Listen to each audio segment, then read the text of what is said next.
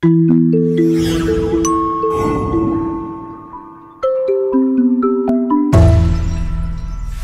next place we go when we look at low testosterone is what medications are you taking? It's very common for blood pressure medication to destroy testosterone. SSRIs or antidepressants can really wreak havoc with your libido.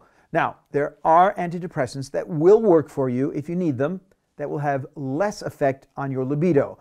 It requires exploration, it requires trial and error, it requires a doctor willing to take the time to find the right medication that will leave your sex life intact.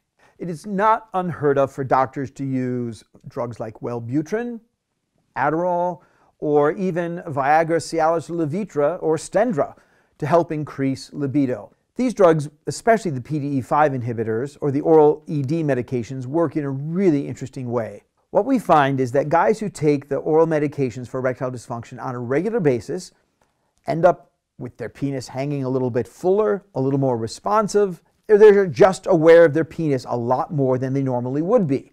They also wake up in the morning with erections. All of these things add up to guys being a little more aware of and a little more connected to their penis. This connection often results in guys just having a better libido. Therapeutic treatment for low libido is really not that difficult. Again, the problem often is if you have a partner who's not getting as much affection, connection, or touch as they would like. Now, I get the fact that intercourse and arousal and erections all the way to ejaculation, that requires a lot of stamina, a lot of libido, a lot of energy, and a lot of arousal, and a really pretty good functioning body. What most people want, especially if you're having sex with a woman, is intimacy, connection, feeling valued, feeling loved, feeling desired, all those wonderful things. Believe it or not, guys, you don't need an erect penis to get that accomplished. The foundation of the work that we do when it comes to therapeutic treatment for low libido is just touch. I have couples schedule massages. Listen, even if you don't have a great libido, you can still enjoy touching your partner.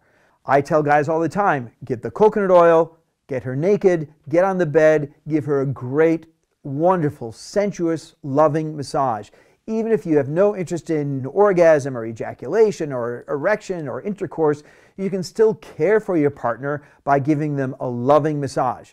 Even if your libido is low, you can enjoy getting a massage. You may not need a happy ending or an orgasm at the end, but you can enjoy the touch. Once we practiced this several times, we discovered that these are really pleasant and bonding experiences. And guys, this kind of massage is great sex. It's just in our culture we think sex has to be intercourse. I do have a lot of patients who can get erections and, uh, and, can function perfectly fine sexually. They just have a low libido and no sex drive to use it. In this case, we have what we call gift sex or just do it.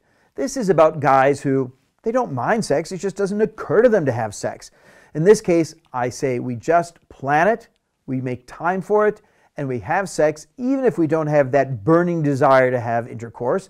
We can still function, we still discover oh, we can perform, we have a great time.